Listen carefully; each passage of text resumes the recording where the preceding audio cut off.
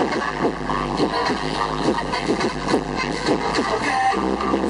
back like she loves some. Bring it, bring it back